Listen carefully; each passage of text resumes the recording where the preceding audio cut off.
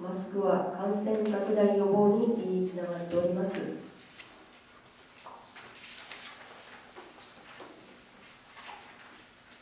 まずは予防です。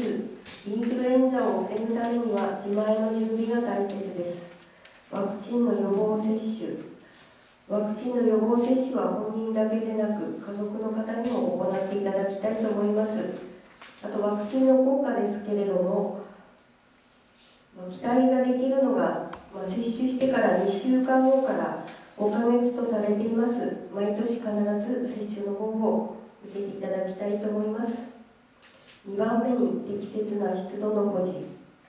3番にマスク、うがい、手洗い。4番、休養とバランスの取れた食事をお願いしたいと思います。